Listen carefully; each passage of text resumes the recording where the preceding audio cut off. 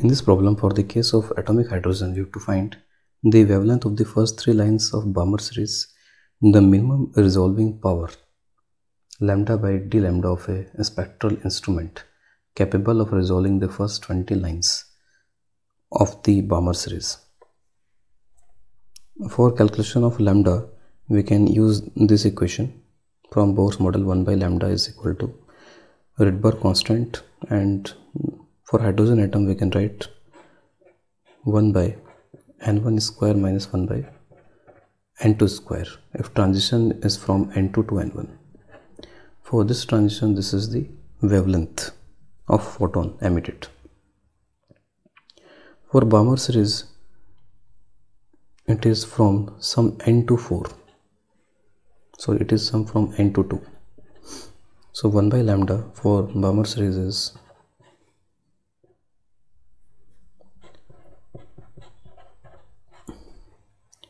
first three lines of Balmer series that means if these are energy levels it is n is equal to 1 it is n is equal to 2 3 4 5 first line means transition from 3 to 2 second lines means transition from 4 to 2 third lines means transition from 5 to 2 so these are the three wavelengths. After putting we have to put for first line. For first line this n is equal to 3 similarly for second line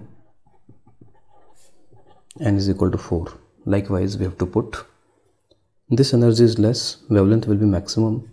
This energy is more wavelength is less than this and this is the maximum energy so wavelength is minimum for this transition. After putting the values we can find the values of lambda as these lambdas we can find as. So the maximum wavelength in this case is 657 for this transition for first line. It is about 657 nanometer.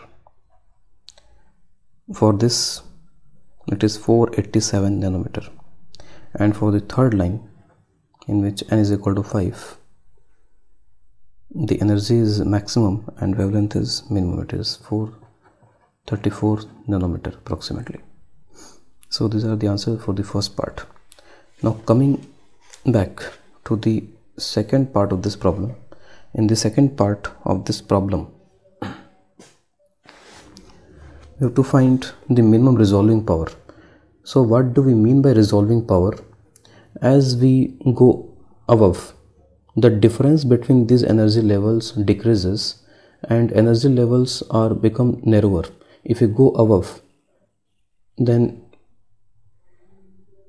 as we go up this difference this difference continuously decreases and the energy difference between the levels continuously decreases.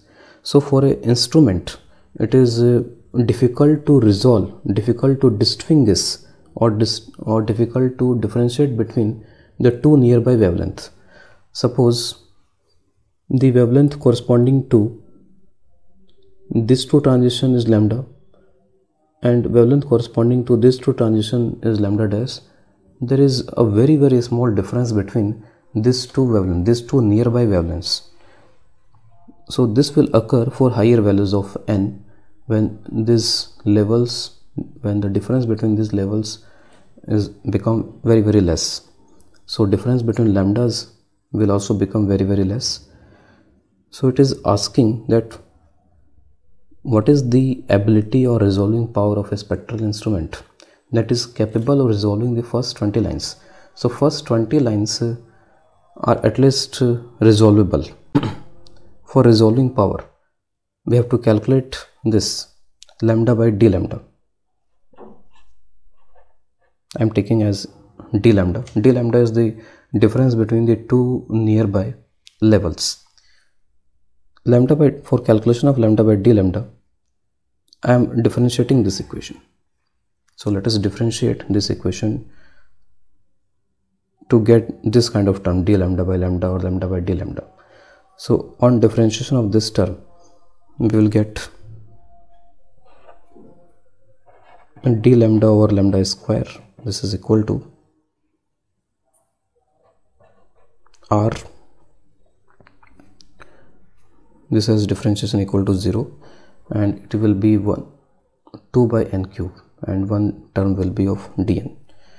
So on differentiation this is 0 minus min it will be minus.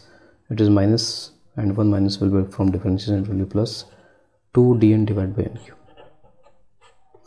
It is d lambda by lambda square and we need d lambda by lambda. So minus d lambda by lambda I am separating this term and one term be one term will be 1 by lambda. It will be 2r dn by nq now put in place of 1 by lambda again this value minus d lambda by lambda and 1 by lambda is r. This will be 1 by 4 minus n square 2r dn by nq